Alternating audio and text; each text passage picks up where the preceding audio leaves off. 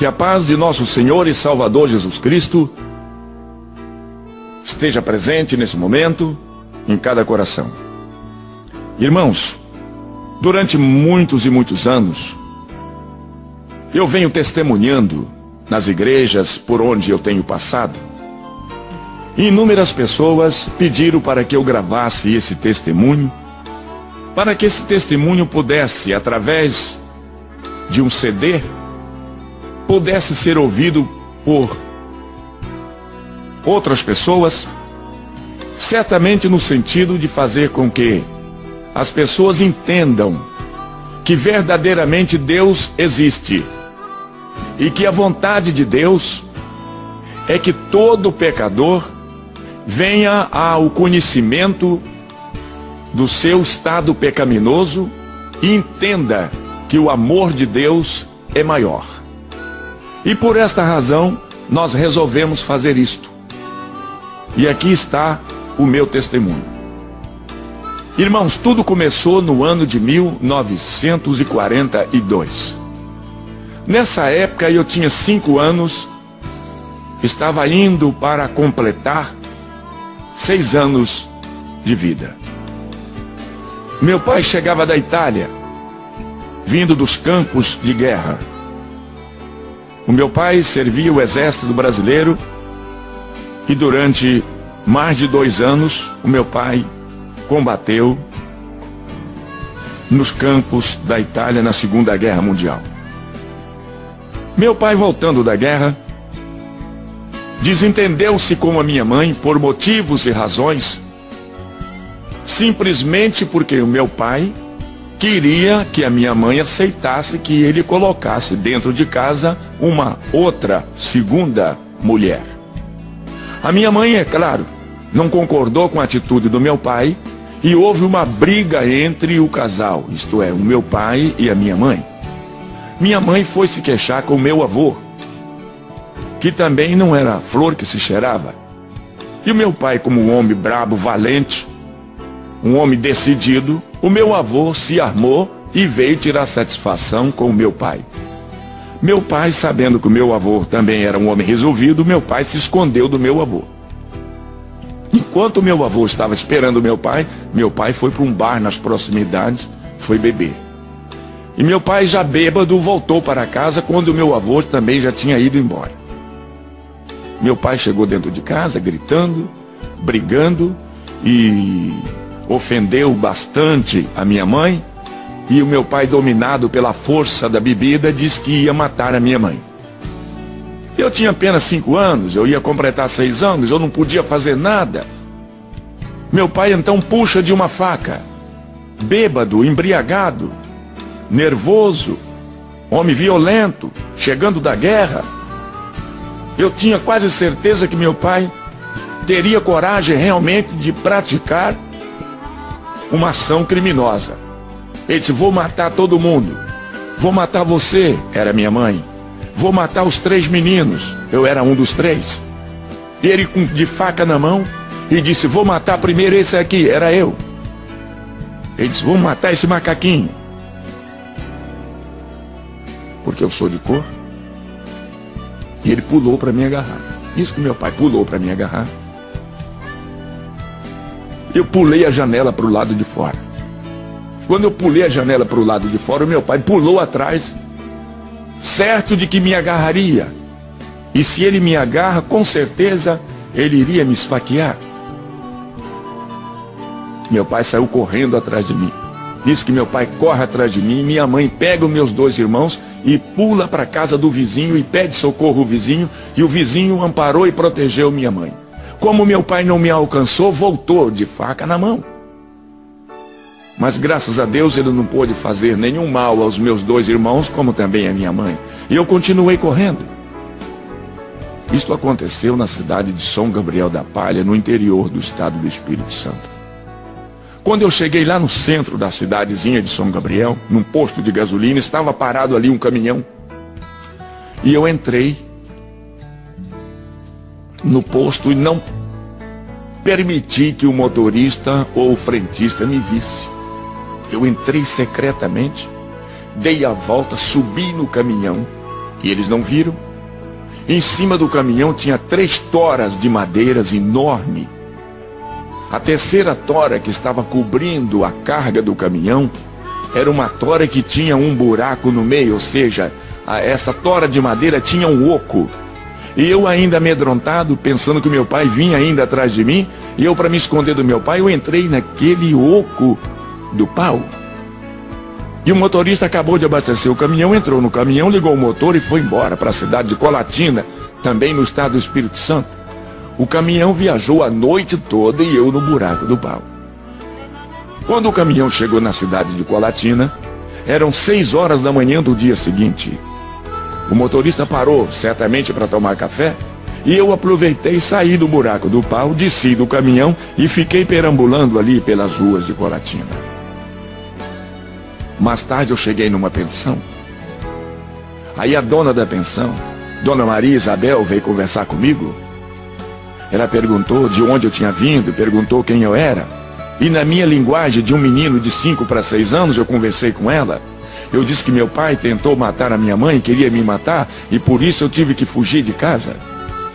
E ela então me ofereceu uma caneca de café, me ofereceu um pedaço de pão. E perguntou para onde eu ia, e eu também disse a ela que não sabia para onde ir. Ela disse: Você quer ficar aqui em casa? Eu arranjo uma esteira, coloco aqui embaixo da escada e você dorme aqui.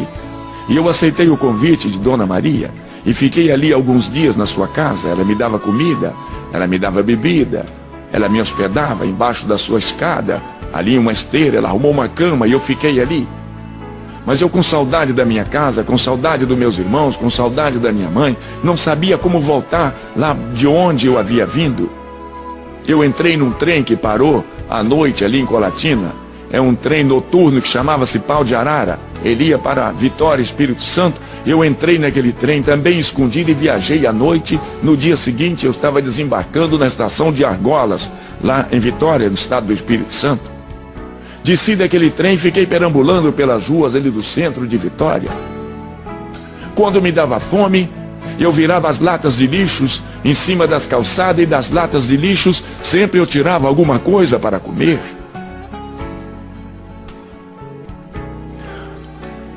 Em algumas ocasiões eu encontrava com as pessoas comendo e eu pedia. Alguém me dava alguma coisa, outros não davam. E eu continuava sempre andando na direção também não sei de quê.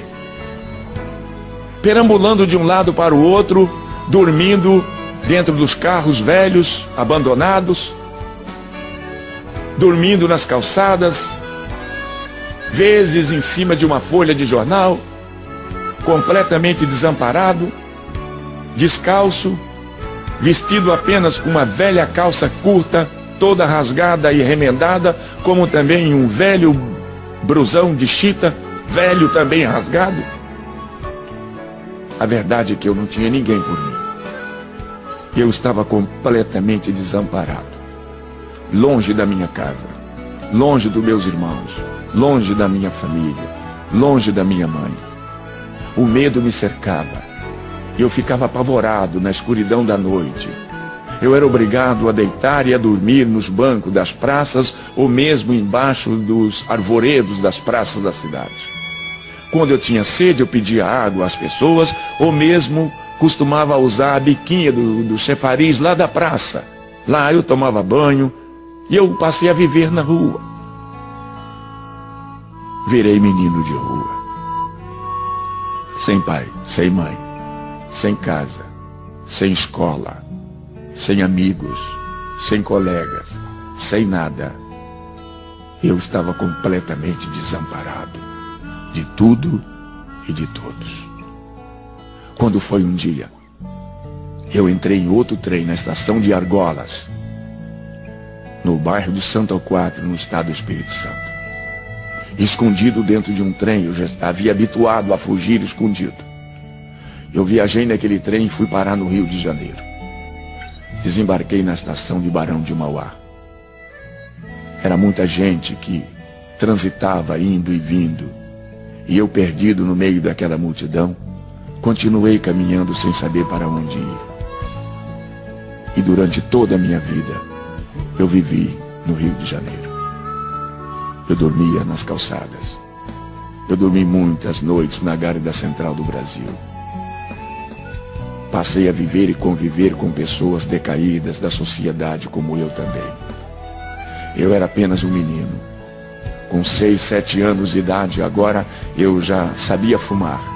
Eu catava as pontas de cigarros encontradas pelo chão e comecei a fumar, e assim me viciei fumando, catando pontas de cigarros pelo chão. Misturado com outras pessoas, mais ou menos da minha qualificação, logo, logo conheci uma droga chamada maconha. E eu comecei a fumar maconha. Eu ainda não tinha sete anos de idade, mas eu já era viciado em fumar aquela praga. Depois de ser viciado, então as pessoas passaram a me usar. Agora me mostrava a droga, eu precisava da droga, eu queria a droga. Eu tinha necessidade, eu dependia da droga. Foi aí que eles me ensinaram a roubar. E eu comecei roubando as coisas pequenas primeiro. Eu comecei roubando carteiras, bolsas de mulheres, brincos, cordões. Passei a roubar nos trens da Central do Brasil. Eu roubava a carteira no bolso das pessoas. Logo, logo me transformei num excelente batedor de carteiras.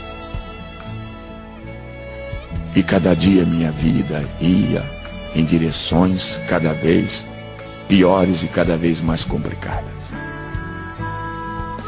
Mas hoje sei que apesar das dificuldades que eu vivia e que eu atravessei, hoje eu reconheço que Deus me conhecia. Já naquele tempo ele já me amava. Naquele tempo ele já havia me escolhido para que um dia eu fosse o que hoje eu sou mas eu não conhecia Deus. Eu não sabia quem era Deus. Eu não sabia onde encontrar Deus. Eu não sabia onde era a casa de Deus. Eu não sabia como poder contar e dizer a Deus da minha situação. Mas Deus continuou me protegendo e me vigiando. E mesmo assim, eu aprendi a roubar. Depois aprendi a brigar. Eu fui um excelente brigador me ensinaram a lutar golpes de capoeira, me ensinaram a, usar uma faca, me ensinaram a usar um baralho, me transformei em um dos melhores jogadores de carta da minha época. Fui um grande jogador. Eu conhecia todas as formas de enganar as pessoas através das cartas e levar o dinheiro das pessoas. Como jogador, como ladrão, como assaltante, eu precisava também saber lidar com a arma. Também não faltou quem me ensinasse. E eu aprendi a atirar. E fui um excelente atirador do meu tempo. Eu era capaz de conseguir colocar uma bala no alvo que eu desejava. Fiquei um homem perigoso. Fui crescendo, alcancei os meus 15 anos. Com 15 anos a polícia já me conhecia.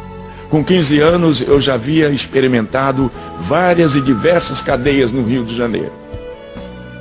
E a polícia não conseguia me prender, me deter num só lugar, pois eu tinha a, a minha forma de abrir as trancas, as fechaduras e os cadeados. Apenas com três palitinhos de fósforo, fósforos eu sabia manuseá-los e eu sabia abrir abria fechaduras, eu fugia. E quando eu fugia, eu levava todos os outros presos que tivessem lá comigo. E cada vez e cada dia mais eu fui ficando famoso na minha arte de ser ladrão, de ser assaltante, de ser fugitivo, de ser drogado, de ser viciado, de ser mal, de ser ruim. Pratiquei muitos crimes. Minha vida era um inferno viciado em bebida, viciado em droga, viciado em fazer e praticar maldade com as pessoas. A verdade é que o inimigo de Deus me usava nas suas próprias mãos e eu era dele escravo, eu era capaz e tinha que fazer tudo o que ele queria que eu fizesse.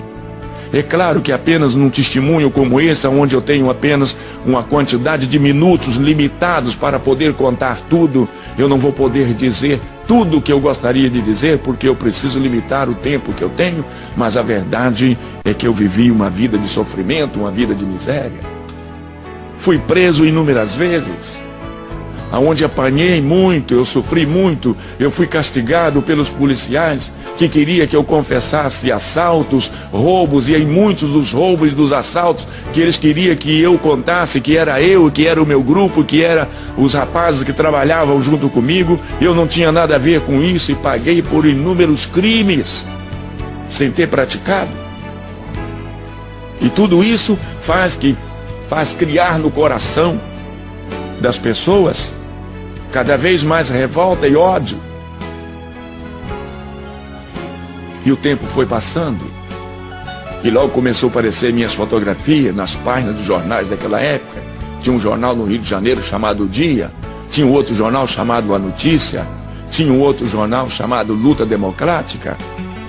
E eu comecei a me destacar nas páginas dos jornais com as minhas fotografias como marginal, perigoso, procurado, caçado pela polícia. Se alguém encontrasse, tinha autorização de matar, porque era a única forma de se livrar de um homem mau, perverso, nas minhas condições, seria matar. E as pessoas, e havia muitas pessoas me procurando para matar, mas a verdade é que Deus não permitia que tal coisa acontecesse. Deus queria que eu me transformasse num pregador da sua palavra Deus queria que eu me transformasse num cantor evangélico e que através da minha voz, que através da minha música, aonde eu poderia alcançar milhares e milhares de almas, Deus tinha um plano comigo.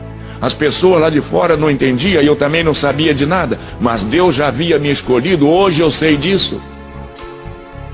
E eu cheguei à idade de 17 anos. Homem perigoso. Certo dia eu conheci um senhor. Conversando com ele, ele conversando comigo, eu disse para ele que eu não tinha documento, que eu não possuía nem sequer uma certidão de nascimento. Ele disse: Se você quiser, eu te levo no cartório, eu assino um termo de responsabilidade e eu tiro o seu documento de sua certidão. E eu aceitei. Ele me levou num cartório.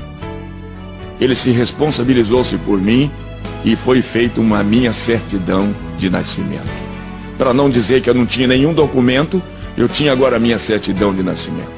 Eu me lembrava justamente do dia que eu havia nascido e conhecia e lembrava do nome da minha mãe do meu pai e também dos meus avós. Então não foi tão difícil fazer uma certidão de nascimento. Naquela época as coisas eram mais fáceis, talvez, do que hoje são. E eu continuei praticando os meus crimes, cada dia e cada vez mais resolvi organizar uma quadrilha de meninos, rapazes, de pessoas habilidosos que tinham e que possuíam condições plenas de poder roubar e assaltar e ampliar o nosso quadro criminal cada vez mais. E eu treinei um grupo de meninos, um grupo de rapazes mais ou menos da minha idade, 15, 16, 17 anos, e nós infernizamos a vida do Rio de Janeiro. Roubávamos em Niterói, roubávamos na Central, roubávamos na Praça 15, roubávamos na Tijuca, roubávamos em Madureira, roubávamos em Cascadura, roubávamos em Nova Iguaçu, roubávamos em todas aquelas regiões ali, Duque de Caxias. Nós aterrorizava o pessoal daquela época nas ruas da cidade. Tínhamos como esconderijo, lugar onde partíamos o, o produto do roubo, ali na rua Dona Zumira, número 59, em Vila Isabel, atrás do Maracanã. Ali havia um prédio velho abandonado, era ali que a gente se encontrava para partir o produto do roubo quando nós saímos em campo para roubar.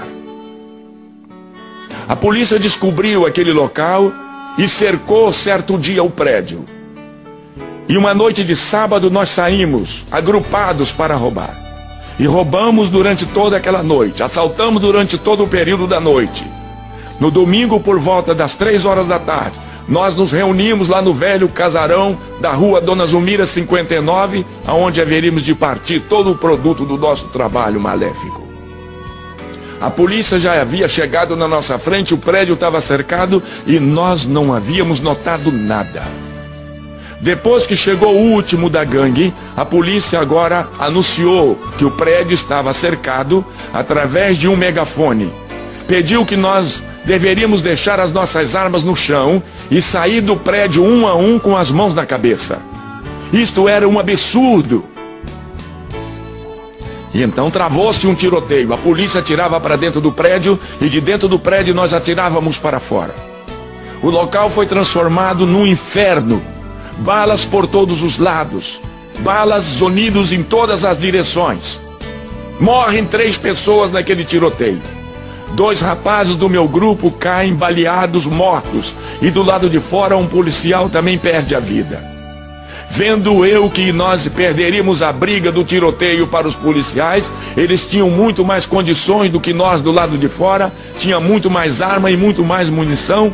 Então eu disse que nós deveríamos nos abrir, cada um deveria fugir do seu modo, do seu próprio jeito. Cada um deveria abrir o seu caminho a balas, e eu também peguei a minha direção. Saí atirando e alcancei ali a rua São Francisco Xavier, e os policiais três ou quatro, não sei quantos, mas também saíram no meu encalço, me perseguindo, atirando na minha direção. E eu me protegi atrás dos carros, atrás dos postes, atrás das árvores. Revidava os tiros dos policiais, pessoas gritando e correndo em todas as direções, balas que atingiam as vidraças dos prédios ao nosso redor, desabava lá de cima, meu Deus. Quanta miséria, quanta desgraça.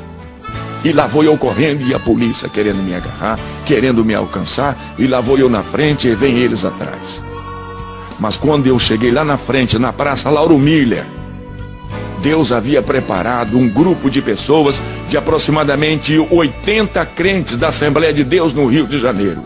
E quem liderava aquele grupo de 80 pessoas era o pastor Thales Caldas. Os irmãos estavam lá na praça Lauro Miller fazendo um culto ao ar livre.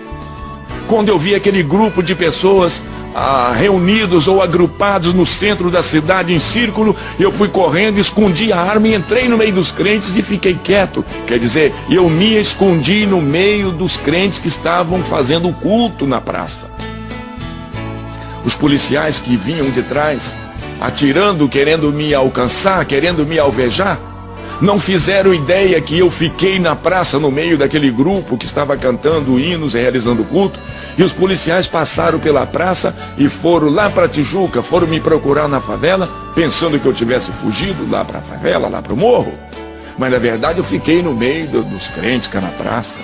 E os crentes de harpa abertas na mão, cantando o hino de número 15. Foi na cruz, foi na cruz, onde um dia eu vi os meus pecados castigados em Jesus. Depois do cântico deste hino, o pastor Thales Caldas pegou a Bíblia abriu o livro de Deus no meio da multidão. Eu estava lá no meio da multidão, escondido, trêmulo, pálido, amedrontado do tiroteio que eu vim correndo lá da rua Dona Zumira.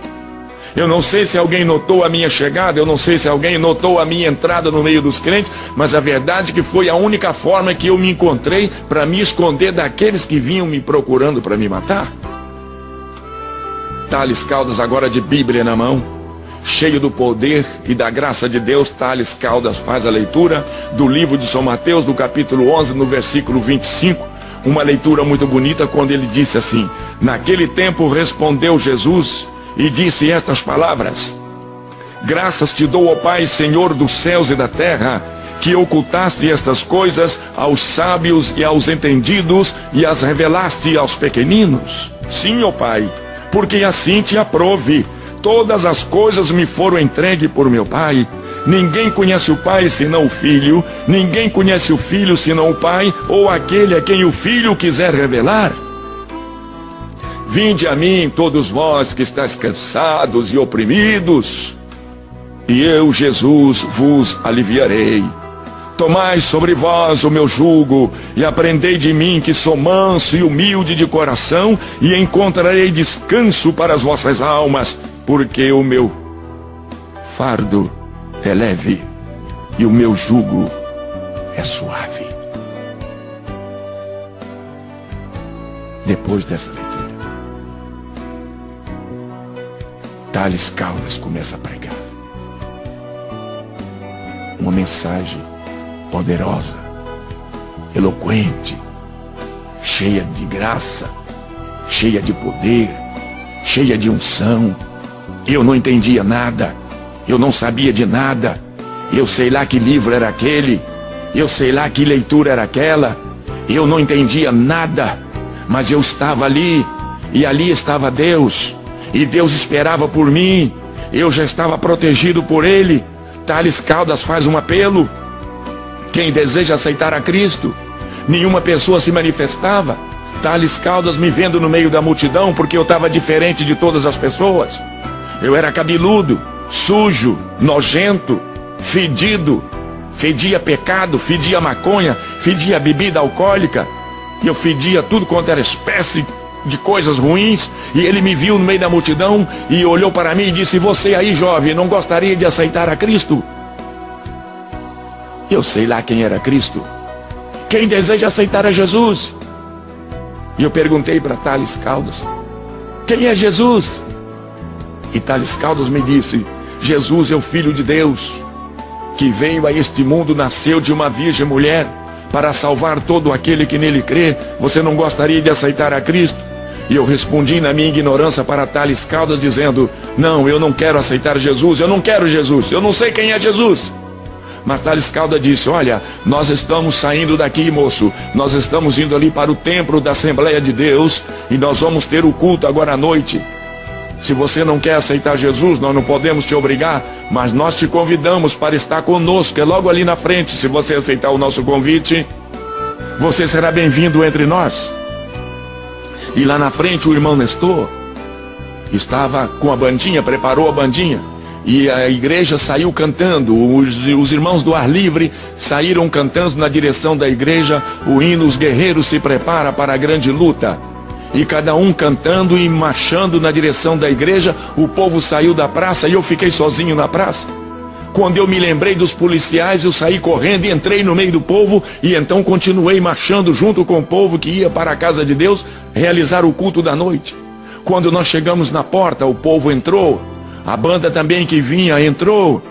Por último vinha Jair Pires completamente atordoado, completamente dominado pela força maléfica do álcool e da maconha e do pecado e de toda a miséria. O irmão porteiro que estava em pé na porta, o irmão Pedro, vendo que eu não era crente, foi encontrar-se comigo nos primeiros degraus da subida daquele templo, estendeu a mão para mim e disse: Jovem, bem-vindo à casa de Deus. E eu perguntei ao irmão Pedro: Aqui é a casa de Deus? Ele disse: Sim, meu filho, pode entrar, é a casa de Deus. E eu perguntei, e Deus mora aqui? O irmão Pedro Porteiro respondeu: Mora, meu filho, Deus está aqui, entra. Eu disse: É uma boa oportunidade para mim então conversar com Deus e dizer a Deus tudo aquilo que eu sou. Que eu sou um miserável, eu sou um desgraçado, eu sou um ladrão, eu sou um assaltante. Eu não tenho pai, eu não tenho casa, eu não tenho mãe, eu não tenho nada. Eu preciso contar isso para Deus. Eu virei para o irmão Pedro e disse: Moço, por favor, vai lá. Traga Deus aqui que eu quero conversar com Deus. Eu quero bater um papo com ele aqui. Chama Deus aí para mim. O irmão Pedro disse: Meu filho, está na hora do culto. Deus não vai poder falar com você agora. Você terá que entrar, assiste o culto e depois do culto, aí então Deus vai conversar com você. E eu aceitei essa condição que ele me propôs. Assisti o culto e que depois do culto Deus viria falar comigo. Levaram e eu sentei lá no centro, lá no meio da multidão que estava glorificando o nome de Deus. Era um culto tipicamente pentecostal. Os irmãos glorificavam o nome de Deus. Alguém sentado do meu lado começou a falar em mistério dos anjos de Deus comigo e aquela língua me atrapalhou e eu fiquei perturbado. Eu logo lembrei que o homem disse que ali era lugar, era casa de Deus, e eu não estava entendendo. Eu comecei a julgar que aquilo ali era um lugar de louco, era uma casa de loucos. Eu não entendi a palavra glória a Deus.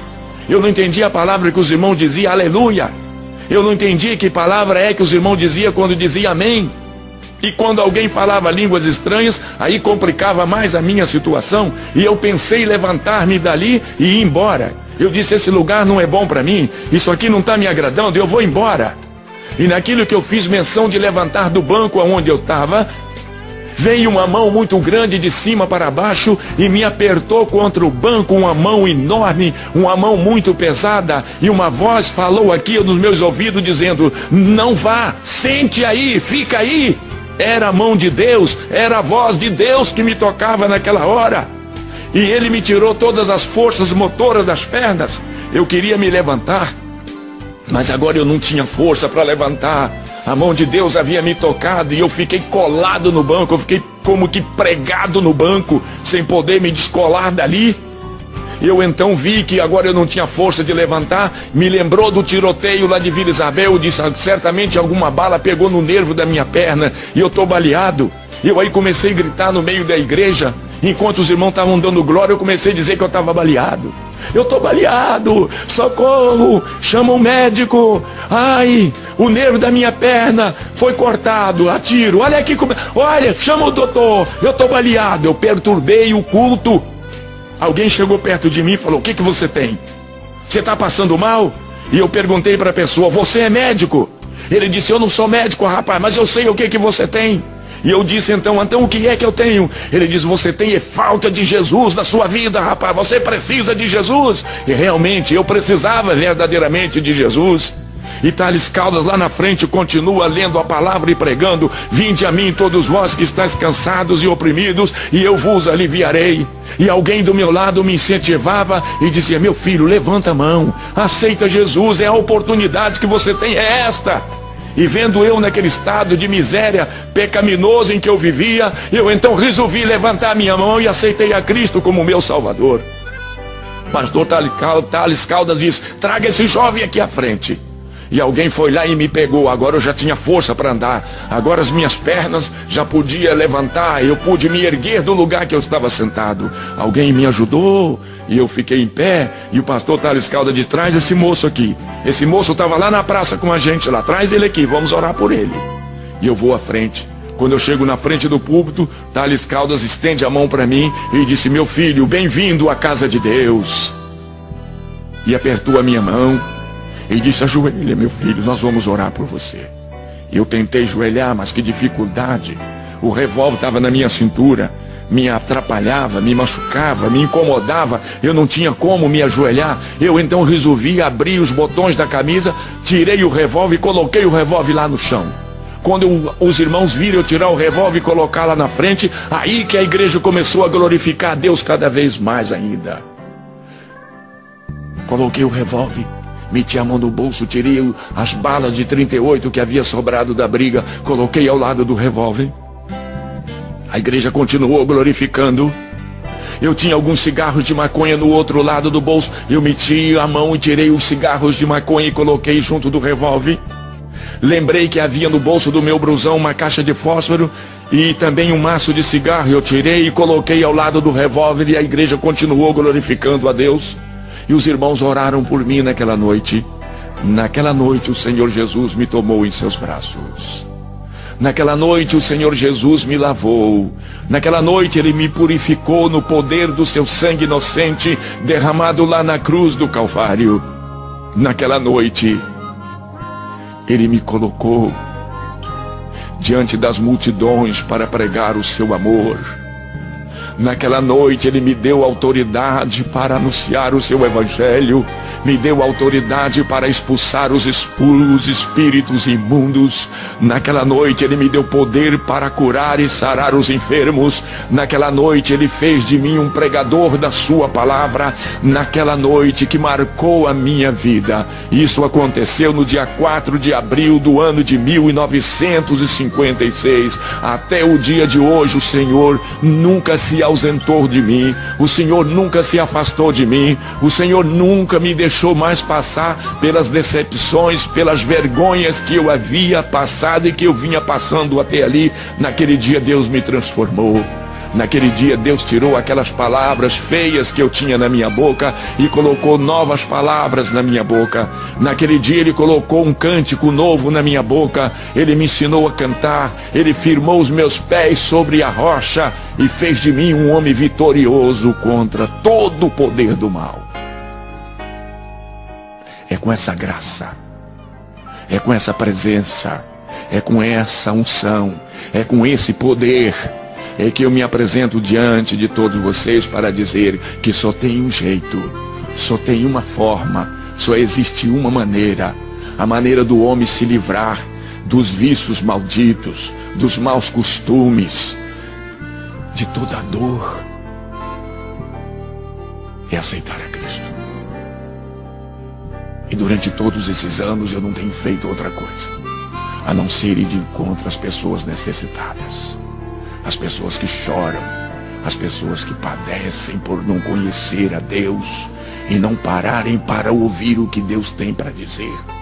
É por isso que, com a autoridade de Deus, eu entro por dentro de terreiros de candomblés, eu entro por dentro de salões de feitiçaria e de macumbaria, sempre abraçado ao meu violão, cantando e falando e pregando a palavra de Deus e sou vitorioso porque são milhares e milhares de pessoas que eu tenho alcançado durante esses quase 50 anos que estou na casa de Deus cantando e pregando esta palavra, porque grande é a vitória que Deus tem me dado até aqui. Eu não sei, meu amigo.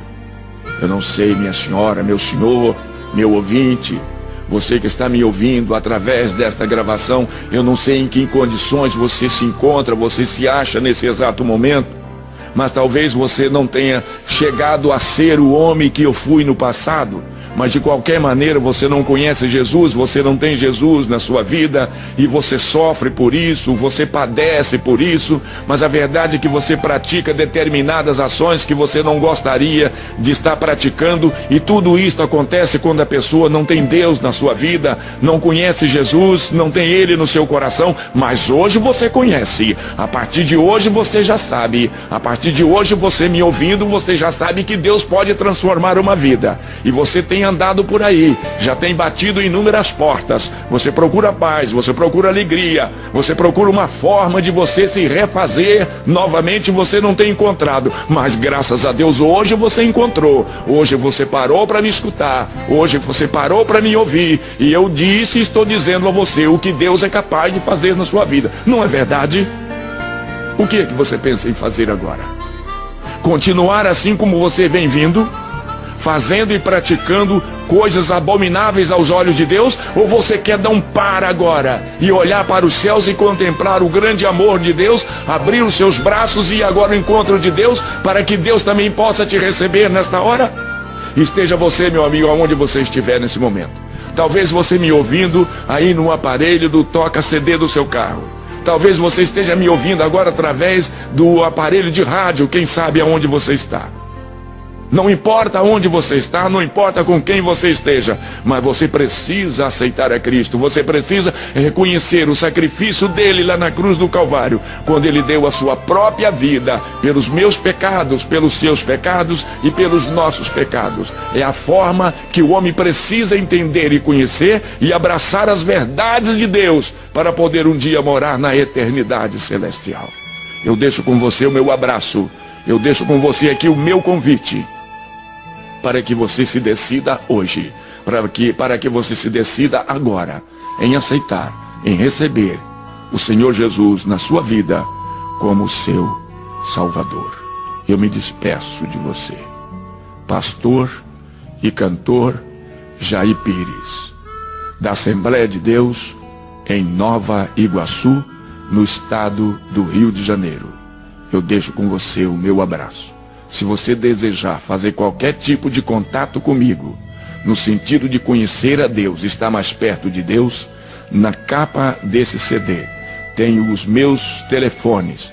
Meu telefone celular que anda no meu bolso, os meus telefones da minha residência, da minha casa. Você pode me procurar qualquer dia, do dia ou da noite. Eu estarei sempre à sua disposição para te falar de Deus e te mostrar cada vez mais o caminho dos céus. Meu abraço e meus parabéns por conhecer as verdades de Deus na minha pessoa hoje, em nome de Jesus. Até o nosso próximo encontro, se Deus quiser.